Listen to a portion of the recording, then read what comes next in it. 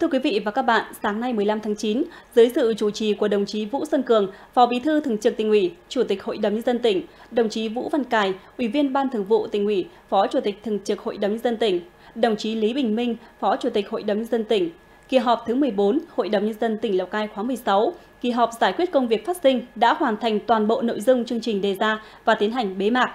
Tham dự có đồng chí Hoàng Giang, Phó Bí thư tỉnh ủy, các đồng chí Ủy viên Ban Thường vụ tỉnh ủy, Thường trực Ủy ban nhân dân tỉnh, lãnh đạo các sở ngành địa phương.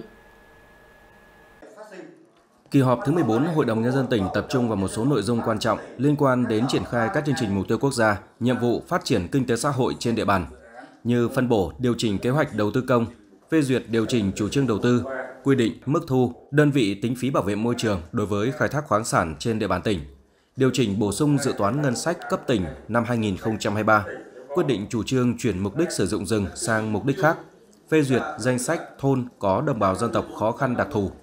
Tại kỳ họp, các đại biểu đã tập trung thảo luận, cho ý kiến vào các tờ trình, dự thảo báo cáo với các nội dung liên quan đến công tác tài chính, ngân sách, quy định và định mức phụ thu khai thác khoáng sản trên địa bàn tỉnh cùng một số nội dung khác.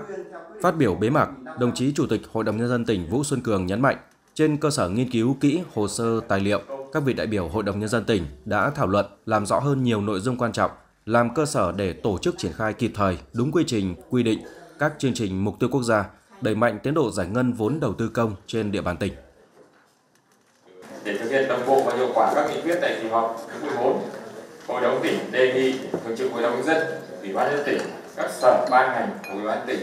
các cơ quan tổ chức liên quan chuẩn bị các điều kiện bảo đảm thi hành kịp thời hiệu quả các nghị quyết đã được Hội đồng nhân tỉnh thông qua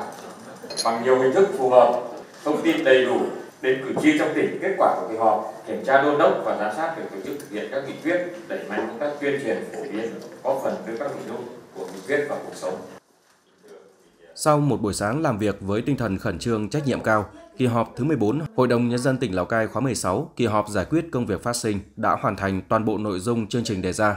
Kỳ họp đã biểu quyết thông qua 8 nghị quyết quan trọng, làm cơ sở để tổ chức triển khai, đưa các nghị quyết vào thực tiễn cuộc sống.